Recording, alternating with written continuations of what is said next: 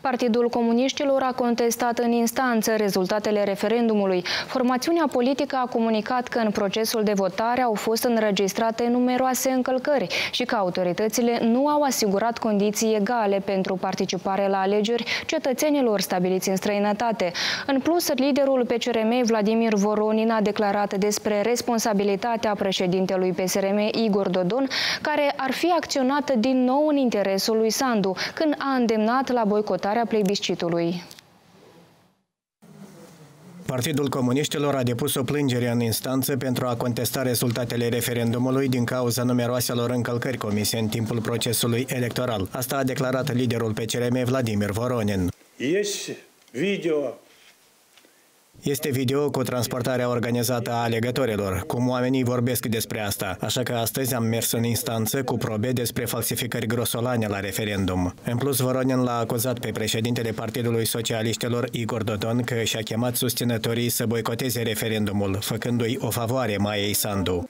Нас опять вновь ne-a dezamăgit din nou pentru a nu știu câta oară un anumit individ care se numește mare politician Igor Dodon. A inventat boicotul referendumului. Peste 50.000 de oameni au căzut în capcana acestui boicot. Boicotul înseamnă să nu iei buletinul de vot. Iată că Dodon ne-a încurcat din nou, la cererea Maiei Sandu, bineînțeles, ca de obicei. El a făcut-o prim-ministru, el a făcut-o președinte. Își face griji pentru ea ca nu știu pentru cine. Și deputatul PCRM de Ana Caraman consideră că rezultatele referendumului ar trebui anulate, deoarece deoarece nu au fost asigurate condiții egale pentru votul în străinătate. Ea a dat ca exemplu cetățenii noștri care locuiesc în Rusia, pentru care au fost deschise doar două secții de votare.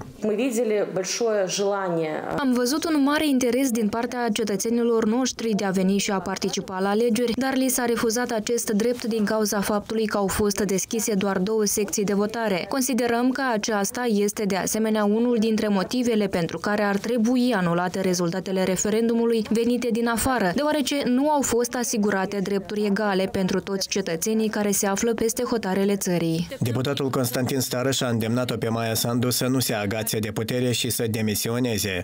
Вот эти цифры, которые были получены как на референдуме, так и на выборах, aceste cifre obținute atât la referendum cât și la alegeri spun doar un singur lucru despre un potențial protest grandios împotriva puterii actuale. Dacă ne exprimăm într-un mod mai popular, regimul Maiei Sandu i-a enervat pe oameni, atât de mult încât aceștia au votat masiv folosind metode accesibile împotriva acestui regim. De fapt, Maia Sandu nu ar trebui să se agațe de ultimele fărâme de putere, ci ar trebui, din bun simț, să prezinte scuze oamenilor pentru toate prostiile, nebuniile și lucrurile făcute Moldovei și societății moldovene românești și să plece. Amintim că, potrivit datelor Comisiei Electorale Centrale privind rezultatele referendumului pentru modificarea Constituției, în 24 de raioane din Moldova, alegătorii au votat împotrivă și doar în 8 raioane au răspuns da. Votul diasporei din străinătate a influențat rezultatul plebiscitului pe ultima sută de metri. După procesarea tuturor proceselor verbale, rezultatul final a fost 50,46%